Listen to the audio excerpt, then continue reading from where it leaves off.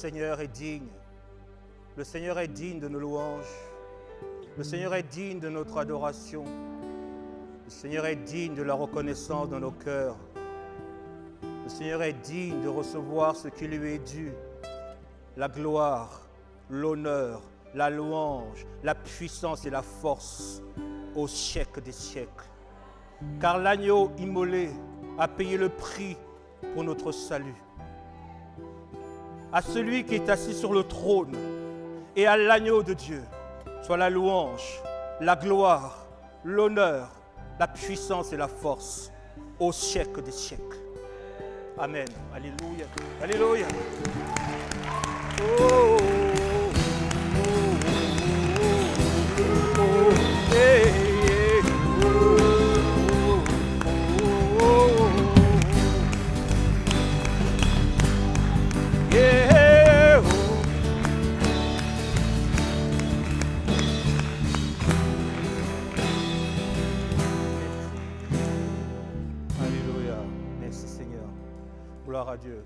prendre place. Merci au groupe de louanges. On peut remercier le groupe de louanges pour l'excellent travail. Alléluia. Merci. Alléluia. Gloire à Dieu. Amen. Merci Seigneur. Merci Jésus. Seigneur, merci pour ta parole. Seigneur, merci car c'est un honneur de t'entendre nous parler. Et ce matin, nous voulons encore ouvrir nos cœurs afin que tu puisses, euh, Seigneur, nous instruire, nous transformer, nous challenger encore ce matin et nous emmener, Seigneur, euh, sur le chemin de notre destinée, là où tu veux que nous allions pour porter un fruit qui demeure et qui glorifie ton nom. Alors, Seigneur, ce matin, glorifie ton nom au travers de ta parole et que les vies soient transformées dans le nom de Jésus. Amen. Gloire à Dieu. Vous allez bien? Oui, pasteur Robert. Amen.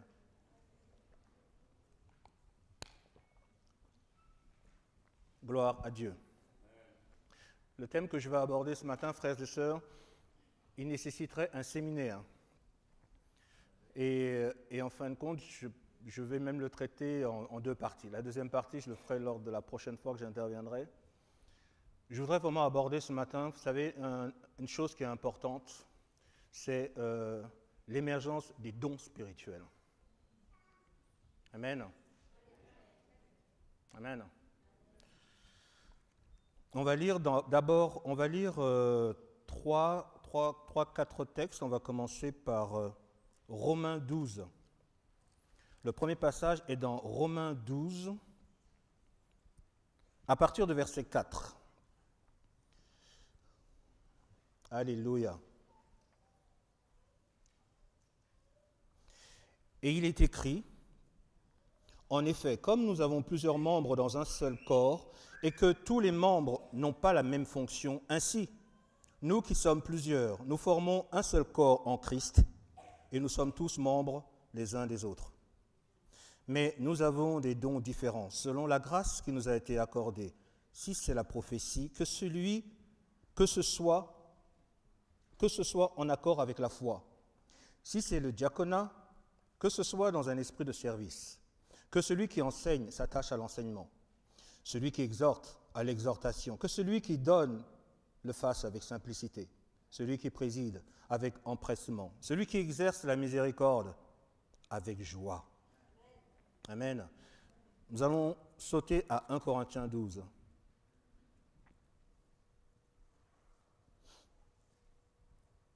Pour ce qui concerne les dons spirituels, je ne veux pas, frères, que vous soyez dans l'ignorance. Vous savez comment, quand vous étiez païens, vous étiez entraînés et dévoyés vers les idoles muettes. C'est pourquoi je vous le déclare, nul, s'il parle par l'Esprit de Dieu, ne dit Jésus est anathème, et nul ne peut dire Jésus est le Seigneur, si ce n'est par le Saint-Esprit.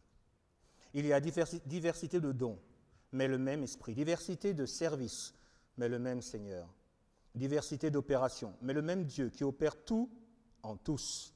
Or, à chacun la manifestation de l'Esprit est donnée pour l'utilité commune. En effet, à l'un est donnée par l'Esprit une parole de sagesse, à un autre une parole de connaissance selon le même esprit, à un autre la foi par le même esprit, à un autre des dons de guérison par le même esprit, à un autre le don d'opérer des miracles, à un autre la prophétie, à un autre le discernement des esprits, à un autre diverses sortes de langues, à un autre l'interprétation des langues. Un seul et même esprit opère ces choses, les distribuant à chacun en particulier comme il le veut.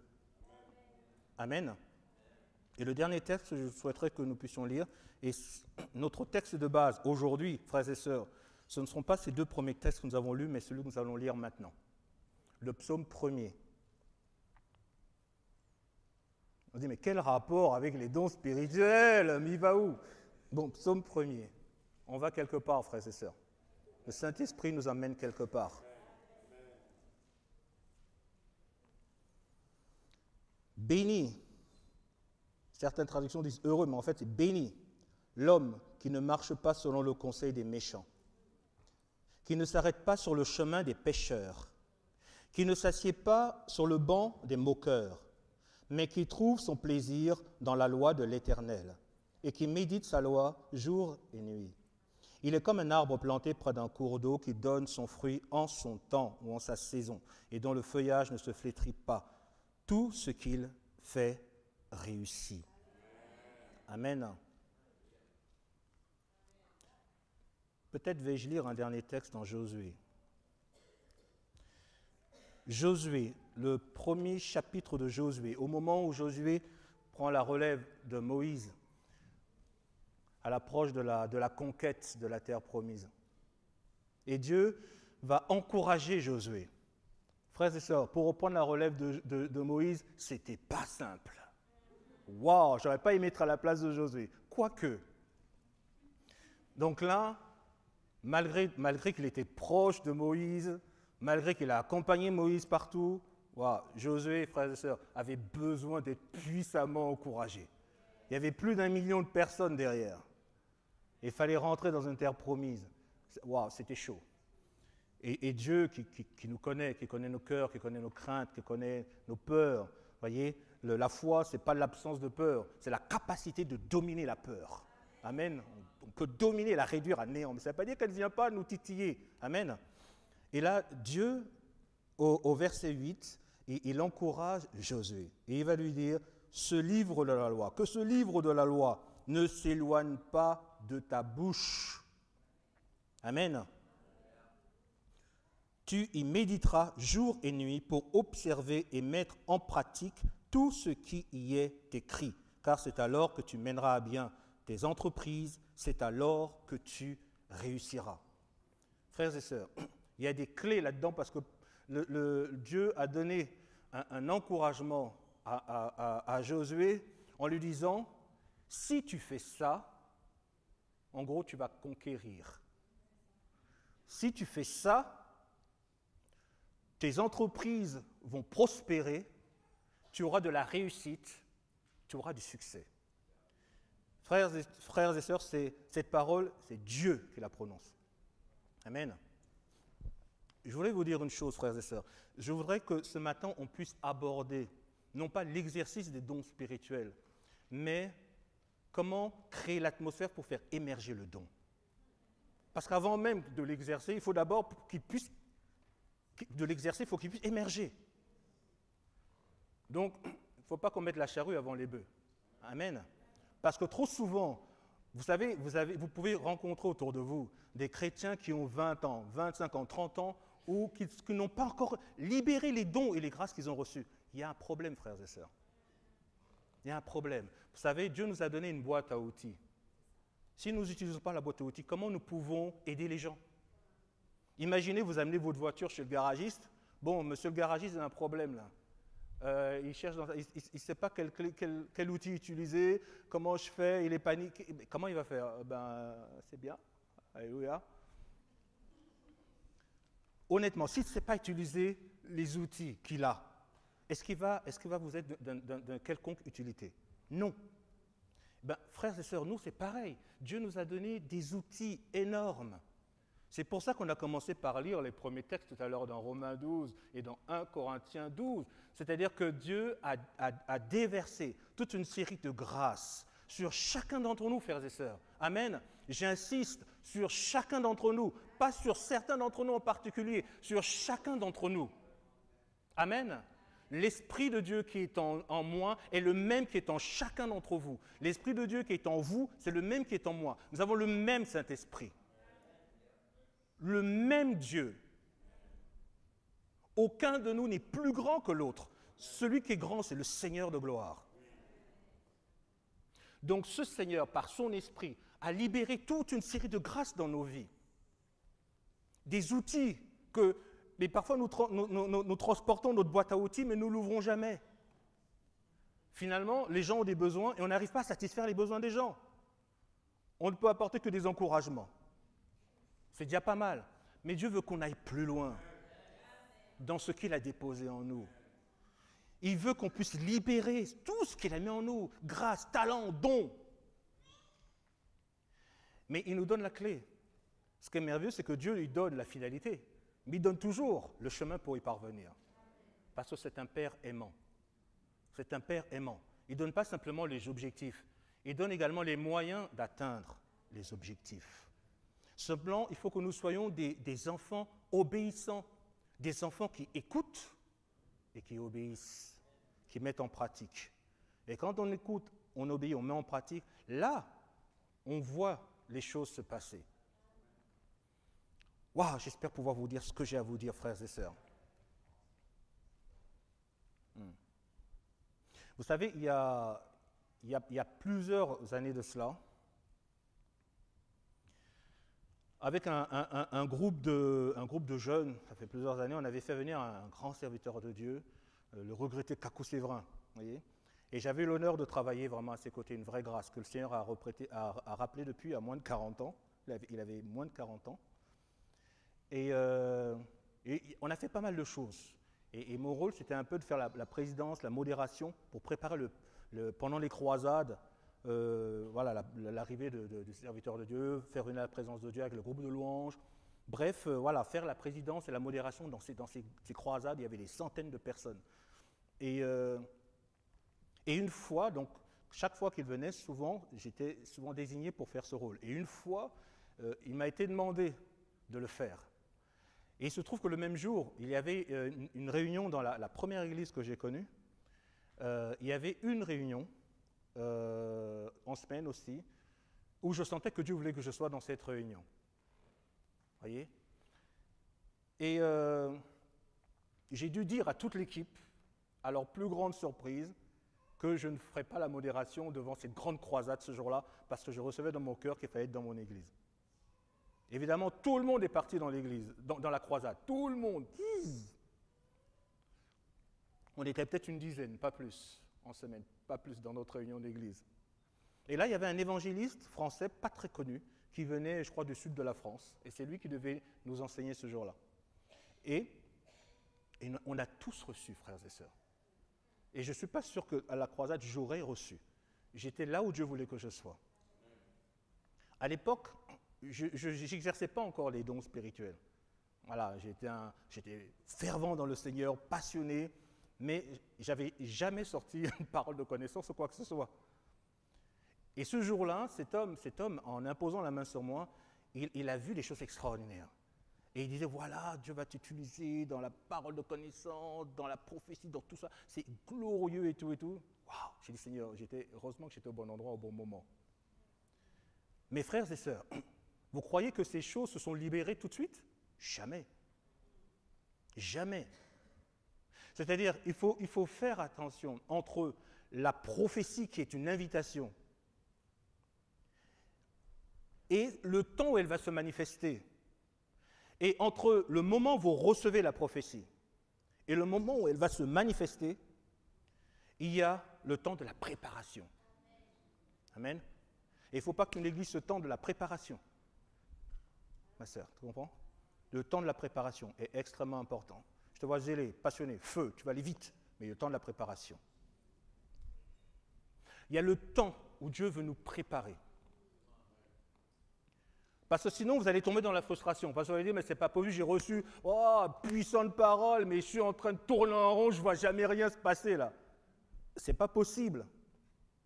Samuel Dieu dit, les, promesses, elles arrivent. Ah, j'entends Dieu dire, les promesses, elles arrivent. Elles sont certaines. Elles sont véritables. Waouh, je vois le Seigneur, toi, a profité de grandes choses sur toi. Et ce que je l'entends dire, mes promesses s'accomplissent certainement. Amen. Gloire à Dieu. Il y a le temps de la préparation, frères et sœurs. Et vous savez, pour entrer dans les promesses, l'accomplissement de la promesse, tout va dépendre de ce que vous allez faire pendant ce temps de préparation. Si vous négligez le temps de la préparation, le, temps, le, moment de la manifestation va reculer. Vous allez vous dire, mais qu'est-ce qui se passe là? Non, c'est nous-mêmes, par notre manière de conduire notre vie spirituelle, qui éloigne l'accomplissement de la promesse. Ce n'est pas Dieu. Vous savez, quand Dieu nous, nous bénit à un temps T, ça ne veut pas dire qu'il ne voulait pas nous bénir à T-1. Sa miséricorde fait qu'il nous a bénis à T. Mais peut-être aurait-il voulu nous bénir à T-1 si nous avions été prêts. Amen. Et frères et sœurs, j'ai compris que pendant ce temps-là, il fallait se préparer. Frères et sœurs, la parole de Dieu est remplie de gens qui ont impacté le monde, mais qui se sont préparés. Paul a eu un ministère extraordinaire. Mais vous savez, quand Paul a été touché sur le chemin de Damas, il arrive à un moment donné où, après qu'il ait prêché en Syrie, Paul, vous ne le voyez plus. Paul, il disparaît. Paul disparaît. On dit, mais qu'est-ce qui arrive à Paul? Frères et sœurs, il était en train de se préparer. Il était en train de se préparer, Paul. Ne pensez pas que depuis, quand il a prêché à Syrie, après sa conversion à Damas, il a, continué. Si vous lisez attentivement les Écritures, vous verrez que Paul va disparaître. Paul va se préparer jusqu'au moment où Barnabas va venir le chercher. Où Barnabas va venir le chercher pour aller avec lui à Antioche, pour aider l'Église. C'est là où Barnabas va aller chercher Paul, parce que le temps était arrivé pour Paul. Mais Paul ne savait même pas. Barnabas arrive, il dit Viens avec moi. Parce que Barnabas l'avait déjà vu exercer à Damas. Donc là, maintenant, Barnabas a été l'instrument de Dieu pour sortir Paul de l'ombre et le faire maintenant venir dans la lumière. Et même lorsque Paul est arrivé à Barnabas, frères et sœurs, Paul a enseigné, Paul a, servi. Paul a servi, tout simplement, comme vous servez dans la maison de Dieu. Il y servait. Ça a pris au moins deux ans. Il servait. Il servait. Il servait simplement. Il n'était pas là. Mais c'est quand mon appel? Mais c'est quand que je vais tout. Il servait. Il servait. Amen. Sois patient, Josué. Continue à servir, te dit Dieu. Continue seulement à servir. Il arrive, t'inquiète pas. Amen. Il servait simplement. Il servait jusqu'au jour où l'Esprit de Dieu a parlé. Mettez-moi à part Paul et Barnabas pour l'œuvre à laquelle je les ai. Mais le frère, il servait, c'est tout. Et c'est Dieu qui, à un moment donné, a estimé que le temps était arrivé. Nous, parfois, on pense qu'on est prêt, alors que Dieu lui-même n'a même pas encore prononcé son, son, temps favorable. Nous sommes les spécialistes de, dans le décret des temps favorables. C'est maintenant. Mais souvent, quand c'est comme ça, Dieu dit, attends encore un peu. Généralement, quand c'est ça, c'est attends encore un peu. Voyez Frères et sœurs, le temps de la préparation. Jésus, le meilleur des modèles, le meilleur des exemples. Vous n'avez pas rendu compte que après Jérusalem, à 12 ans, quand ses parents le cherchaient, on disait mais il est où le fiston là? Voyez Vous n'êtes pas, rendu, vous, pas rendu compte qu'on n'entend plus parler de Jésus jusqu'à 30 ans? Chacun se dit, mais qu'est-ce qu'il a fait pendant ce temps-là? Pourquoi la Bible ne dit pas qu'est-ce qu'il a fait Jésus? Frères et sœurs, le Fils de Dieu a voulu nous montrer qu'il y a un temps de préparation. Il y a ce que la Bible nous dit qui est écrit, et il y a ce qu'elle nous dit qui n'est pas écrit, mais qui nous le, dit quand même. Amen. Le temps de la préparation. Le roi des rois, le maître nous a montré. Il n'avait pas besoin de ça, mais nous avons besoin d'être inspirés par le Fils de l'homme. Et il fait ces choses pour que nous comprenions comment on doit fonctionner, frères et sœurs. Ce n'est pas qu'il en avait foncièrement besoin, mais nous, il veut nous faire comprendre comment nous devons fonctionner. Le temps de la préparation. Amen. Le temps de la préparation. Amen. Hmm. mon, frère, tu viens souvent ici? Oui. D'accord. Ce que Dieu me dit, c'est que Dieu ne se repent pas de ses dons, ni de sa vocation, ni de son appel. Il ne faut pas que tu crois ce mensonge de Dieu. Euh, pardon, ce mensonge du diable. Ne crois pas ce mensonge de diable, pardon Seigneur. Parce que manifestement, tu as cru que c'était fini, terminé. Non. Dieu ne se repent pas de sa vocation, ni de ses dons, ni de son appel. Donc il faut que tu te relèves, te dit Dieu. Amen. Il faut que tu te relèves. Il ne faut pas baisser les bras, il faut que tu te relèves. Amen. Car Dieu est fidèle à ses promesses. Amen. Dieu est fidèle à ses promesses. Le temps de la préparation. Amen. Non, frères et sœurs, si on veut faire germer un fruit, il faut créer les conditions favorables pour que ce fruit puisse germer. Amen. Parce que si les conditions ne sont pas favorables, ce fruit ne peut pas germer. Et vous savez, cette parole que j'ai reçue à cette époque, elle a commencé à se, manifester, mais soudainement, mais des années plus tard. Et au moment où vous y attendez le moins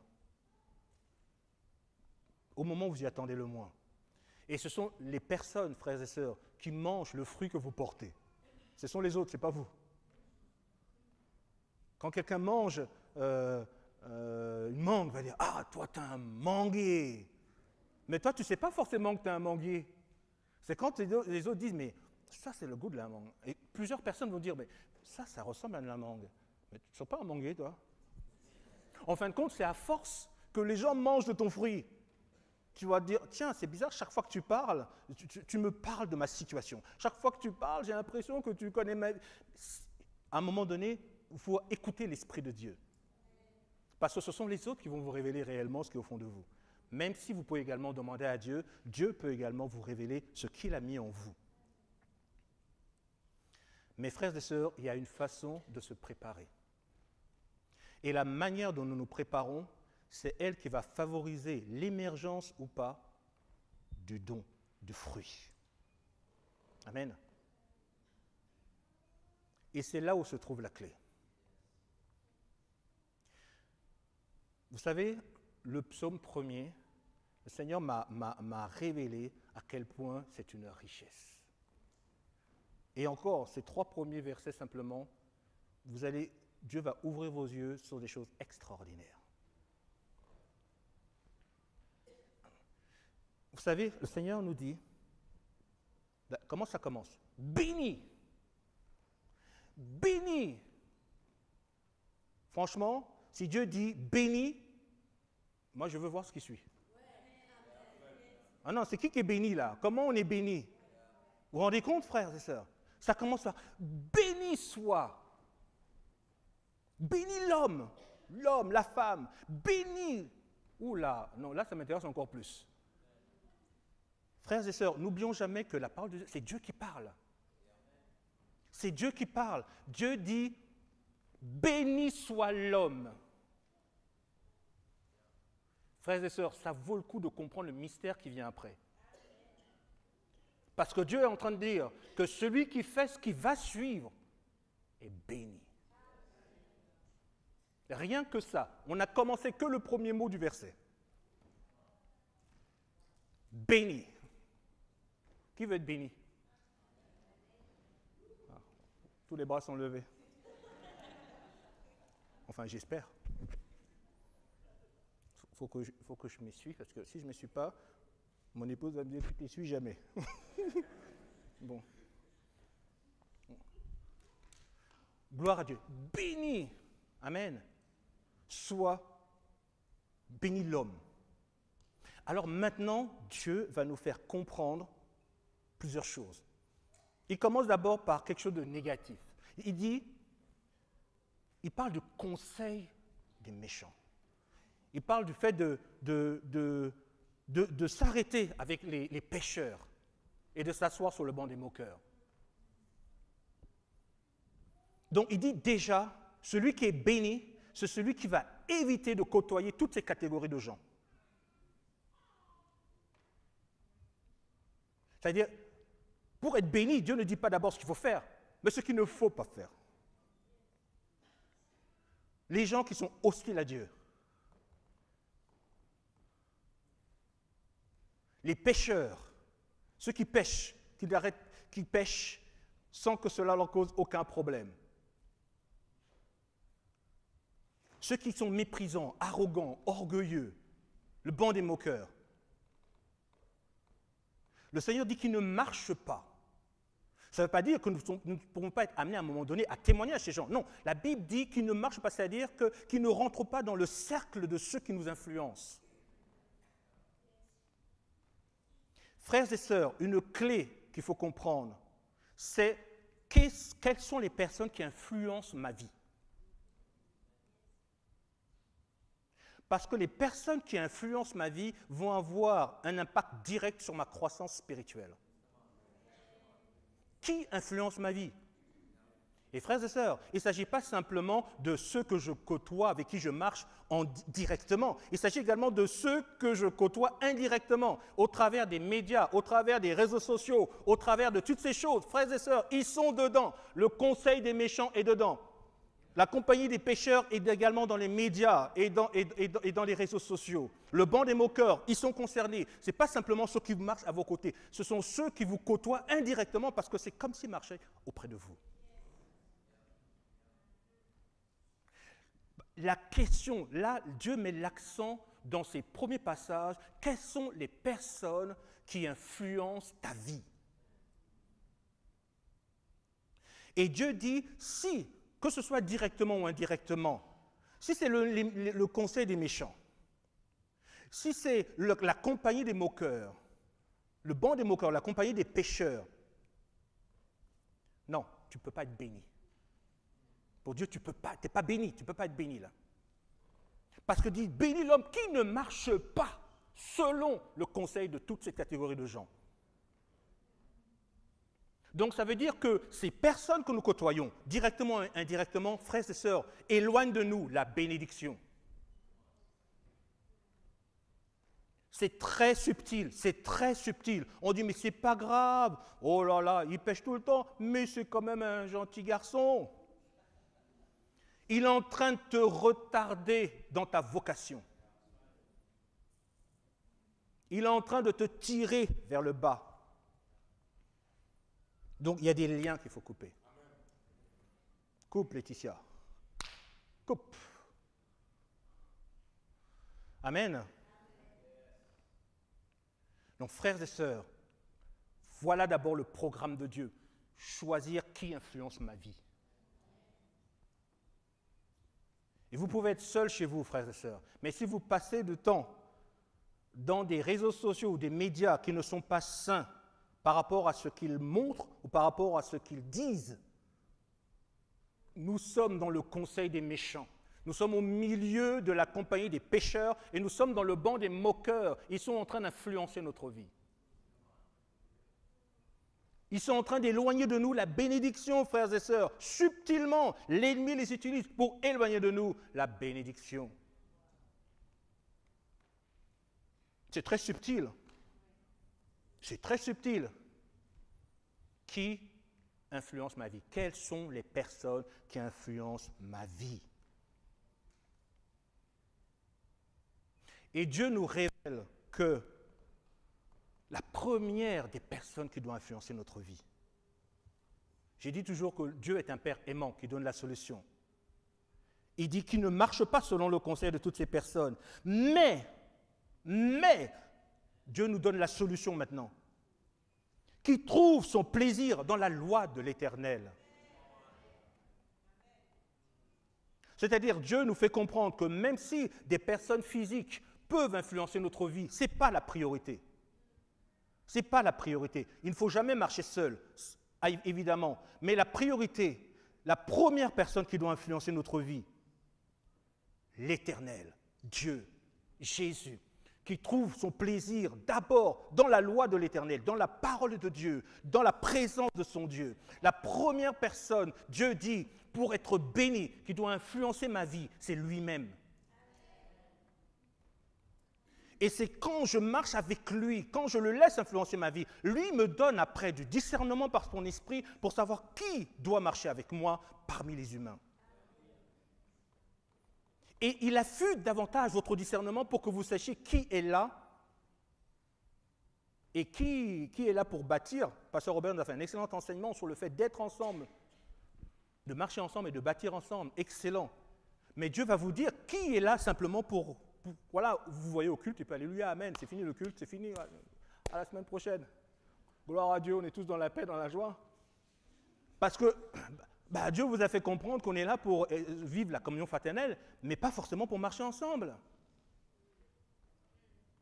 Donc pas de frustration, c'est comme ça. Et puis il y a ceux avec qui on, on, peut marcher et ceux avec qui on peut carrément bâtir. Mais plus Dieu influence votre vie et plus vous avez la compréhension des plans de Dieu, sur qui doit vous côtoyer. Vous savez, de, plus en plus que je sors, j'avais dit au Seigneur de me montrer qui peut marcher avec moi. Et Dieu a commencé à parler à des personnes qui m'ont parlé pour me dire, on a vraiment à cœur, Blondel, de t'accompagner. Certains dont je pensais aussi. Mais j'attendais que Dieu parle. Frères et sœurs, Dieu doit être le premier influenceur de nos vies. Il dit les autres ceux qui sont en train d'influencer négativement votre vie, il faut les écarter. Qu'ils soient directs ou indirects. Et peut-être même que les indirects ont encore font encore plus de dégâts dans notre vie que les directs. Parce qu'on pense qu'on est seul, personne ne nous voit. Oui, mais que regardons-nous? Qu'est-ce que nous écoutons? Qu'est-ce qui rentre dans notre, dans notre âme, dans notre cœur dont on a parlé tout à l'heure? Qu'est-ce que nous laissons entrer? Frères et sœurs, tout ce que nous laissons entrer qui n'est pas sain dans nos oreilles, dans notre corps, dans nos yeux, frères et sœurs, souille notre cœur.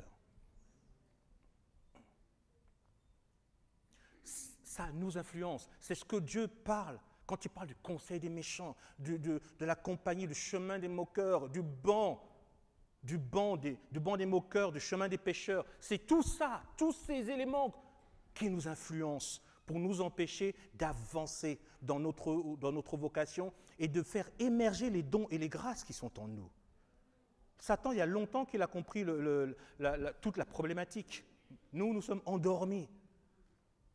Lui, il a compris qu'il faut savoir, il faut qu'il choisisse qu'est-ce qui va influencer nos vies. Parce que plus, plus il trouvera les choses négatives pour influencer nos vies, plus il réussira à nous influencer et plus nous allons il va retarder la manifestation des fils et des filles de Dieu que le monde attend. Donc, frères et sœurs, premier point.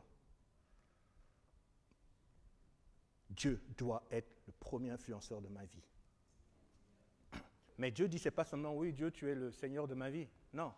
Il dit, la parole, qui trouve son plaisir dans la loi de l'Éternel. Frères et sœurs, si notre plaisir, notre joie, notre, notre épanouissement, notre bien-être dépend des hommes, frères et sœurs, vous serez vite déçus. Parce que l'homme est imparfait. Nous sommes imparfaits, c'est normal. Vous me décevrez, je vous décevrai. Nous sommes imparfaits. C'est comme ça, nous n'avons pas encore atteint la perfection. Nous devons marcher ensemble en sachant que nous, avons, nous, marchons encore vers la perfection. Nous n'y sommes pas encore arrivés. Amen. Donc, notre joie, notre plaisir, notre épanouissement, notre équilibre se trouve en Dieu. Parce que sinon, Dès que la personne à côté de vous avec qui vous marchez, allez vous faire la tête, oh, c'est pas possible, oh, non, frères et sœurs, notre joie, notre plaisir, notre épanouissement spirituel est en Dieu, qui trouve son plaisir dans la loi de l'Éternel et qui la médite jour et nuit. Amen. Jour et nuit. Vous savez que en côtoyant le conseil des méchants, en marchant sur le chemin des pécheurs, en étant assis sur le banc des moqueurs, vous savez que c'est comme côtoyer un fumeur. Vous côtoyez un fumeur en permanence, vous êtes victime du tabagisme passif. Il fut une époque, quand j'étais chef d'un service à Paris, j'avais une adjointe. Et cette adjointe faisait du sport. Tout le temps, tous les midis, elle mangeait et ensuite elle faisait du sport. Très sportive, qui prenait vraiment soin de sa vie. Soin de son corps, soin de, son, de, voilà, de sa personne. Mais son mari, c'était un fumeur invétéré. Elle, c'est elle qui a eu le cancer du poumon et c'est à elle qu'on a dû enlever le poumon. Pendant deux mois, deux ou trois mois, je n'ai pas eu d'adjointe. Elle a subi le tabagisme passif de son mari. Frères et sœurs, c'est très spirituel ça. C'est spirituel. Aujourd'hui, elle a un seul poumon, alors qu'elle n'a jamais fumé et faisait du sport. Frères et sœurs, c'est exactement l'image de l'impact, de l'influence que peuvent avoir toutes ces choses et toutes ces personnes qui sont négatives sur nos vies. C'est destructeur.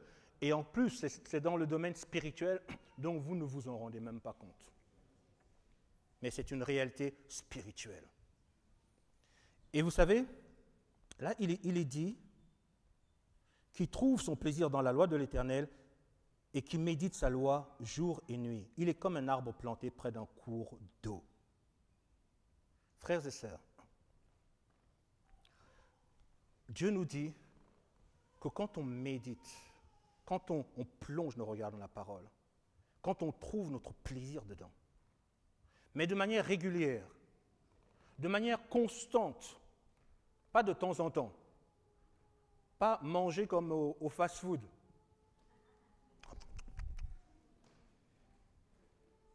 Pas juste le micro-ondes, vite fait, bien fait. Non. Dieu, c'est plus le Dieu du four que du micro-ondes. Mais jetez pas votre micro-ondes. Hein. Je l'utilise aussi. Donc, Dieu dit, quand nous sommes réguliers à prendre plaisir dans sa loi, dans sa parole, à la méditer, Dieu dit qu'à ce moment-là, vous savez qu'est-ce qui se place, qu'est-ce qui se passe? Nous sommes plantés. C'est-à-dire que là, vous allez comprendre tout à l'heure l'image de l'arbre. Dieu dit que là, nous devenons vous savez, Dieu n'utilise jamais les symboles en vain. Il a, utilisé, il a utilisé l'arbre, il aurait pu utiliser autre chose, le coquelicot, ce que vous voulez. C'est pas en vain qu'il a utilisé l'arbre. Il dit que quand nous sommes profonds dans ces choses, nous devenons comme un arbre planté dans un cours d'eau. C'est-à-dire que les racines de l'arbre plongent dans le courant d'eau. Amen. Les racines de l'arbre plongent dans le courant d'eau. Mais pour que ces racines plongent dans ce courant d'eau, il faut que l'arbre soit planté. Pour que Dieu nous plante, frères et sœurs, il y a ce symbole au travers de l'arbre de la force, de la stabilité, de la confiance, de la sérénité, de, celui qui sait qui il est, la connaissance de son identité, il y a une, force qui jaillit de l'arbre, la stabilité, l'assurance.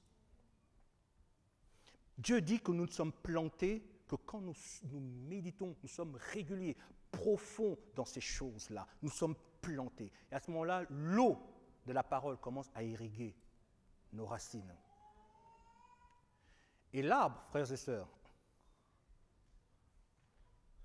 l'arbre a besoin de l'eau et tous les sels minéraux dans le sol pour se nourrir.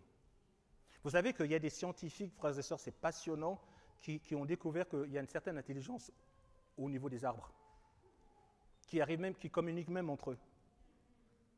Vous savez, quand dans la Bible dit, les, Ésaïe, dans, 55, il dit les, arbres des campagnes battront des mains. Mais, depuis quand? Moi, je les vois tout le temps, là, ils jamais des mains. Tu vois? Frères et sœurs, la parole de Dieu est, fausse ou elle est vraie? Bon, eh bien, la Bible dit les arbres des champs battront des mains. Cherchez pas à comprendre. C'est la vérité.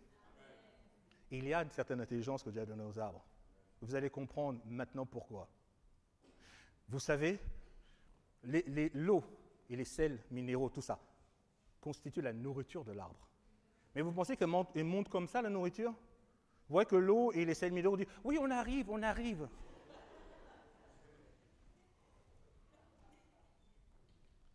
Frères et sœurs, il y a un processus extraordinaire qui reflète la gloire de Dieu. Et c'est pour ça que Dieu parle du feuillage. C'est pour ça que Dieu parle du feuillage, qui ne se flétrit point. Frères et sœurs, les feuilles sont l'élément essentiel à la survie de l'arbre. Le feuillage, c'est l'élément essentiel à la survie de l'arbre. Pourquoi? Parce que grâce au soleil, il y a un phénomène chimique extraordinaire qui va se produire au niveau des feuilles, qu'on appelle l'évapotranspiration. C'est les gouttes d'eau qui dépassent des feuilles, qui coulent un peu de l'eau, des, feuilles, des gouttes d'eau. On appelle ça l'évapotranspiration. Il y a un phénomène chimique extraordinaire avec des, cellules qui sont sur la feuille, qui captent le soleil, qui créent une réaction extraordinaire, qui fait couler l'eau. Et quand cette eau coule, cette évapotranspiration, frères et sœurs, vous savez qu'est-ce qu'elle fait? Elle, libère une force de, de succion. Et cette force de succion, c'est elle qui aspire l'eau et les sels minéraux pour nourrir l'arbre.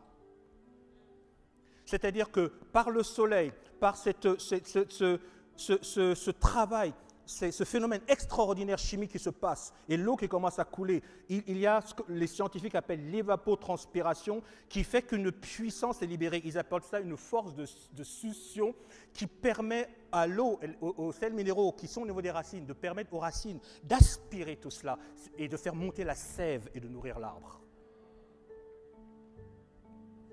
Est-ce que ça vous parle, frères et sœurs? Est-ce que ça vous parle? Dieu ne parle jamais en vain quand il parle de feuillage, Dieu est en train de nous dire, cette fois-ci, ce n'est pas la lumière du soleil, c'est Jésus, la lumière du monde. Et quand cette lumière du monde, frères et sœurs, nous impacte, quand nous sommes connectés à cette lumière du monde, frères et sœurs, ce feuillage, c'est comme cette grâce que cette lumière va, va libérer.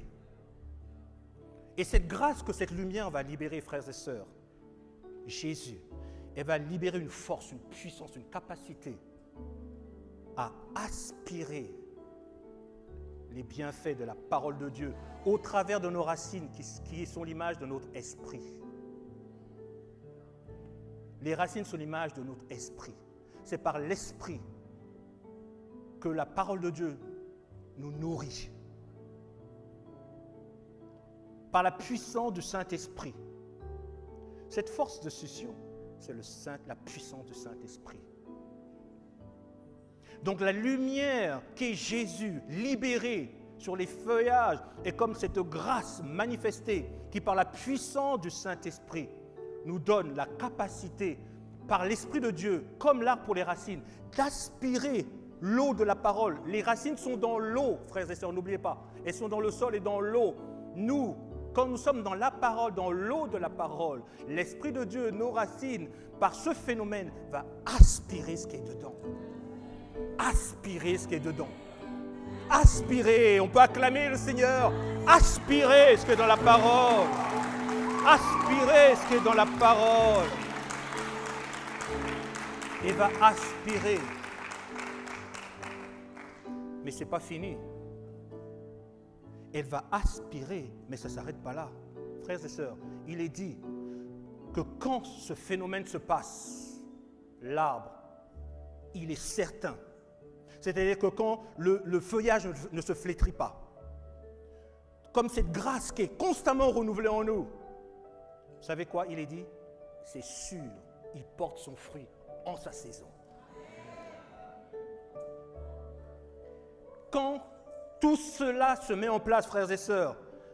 Il porte son fruit en son temps. C'est assuré. Mais qu'est-ce qu'il dit avant? N'oubliez pas ce que Dieu a dit d'abord. Qui influence ma vie? N'oubliez pas qu'avant d'arriver à ce processus, il faut d'abord régler la question de qui influence ma vie. Donc, avant de se dire, mais pourquoi je n'arrive pas à aspirer les bienfaits, les sels minéraux, les richesses, la nourriture, la sève de la parole qui va nourrir le tronc, l'arbre que je suis, pour que je porte ce, fruit en montant Est-ce que j'ai les bonnes personnes qui influencent ma vie? Est-ce que c'est d'abord Dieu qui influence ma vie? Et ensuite, est-ce que j'ai écouté Dieu pour connecter les, les, personnes que Dieu a choisies pour influencer ma vie? Parce que quand il en est ainsi, frères et sœurs, il est certain que pour que votre, le don émerge, n'oubliez pas, le thème c'est l'émergence de don, il est certain que le don va émerger. Il porte son fruit en sa saison. Est-ce qu'on peut se lever? Il porte son fruit en sa saison.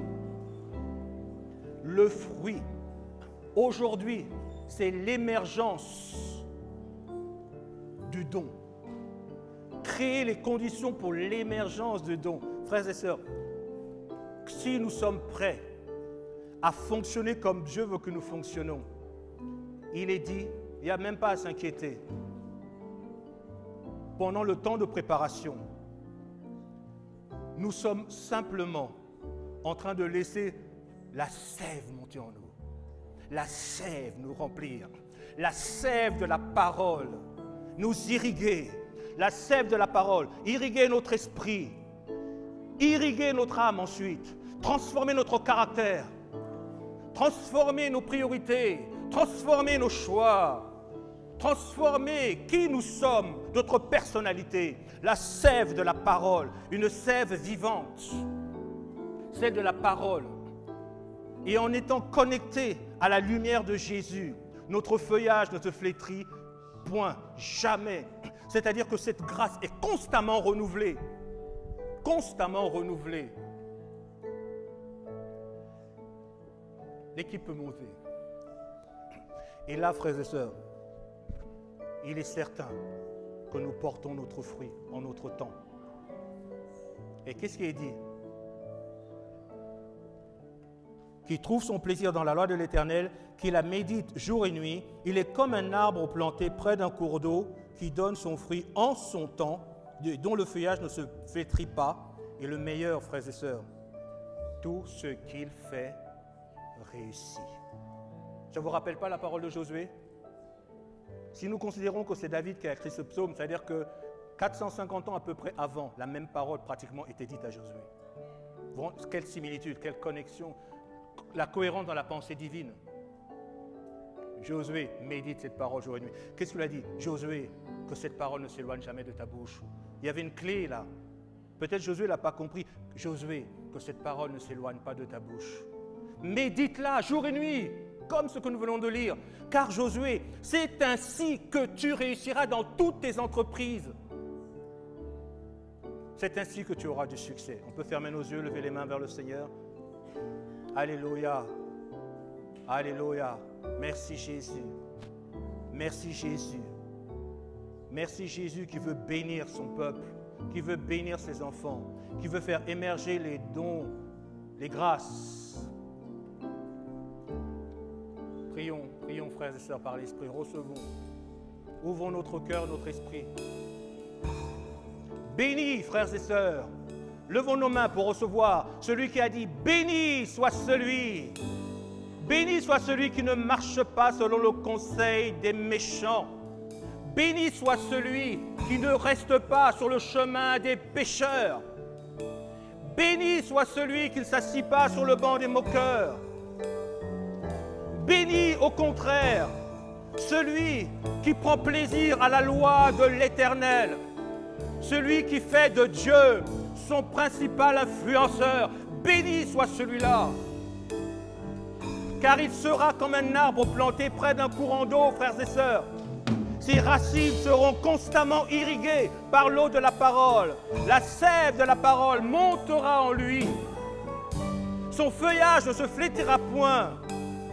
Il portera assurément son fruit en sa saison. Le don émergera. Le don émergera. Alléluia. Le don émergera. Alléluia. Recevons Recevons cette grâce pour entrer dans cette nouvelle dimension.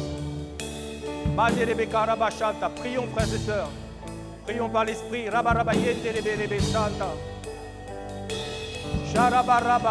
Merci Jésus. Merci Jésus. Recevons la grâce de Dieu. Merci Jésus.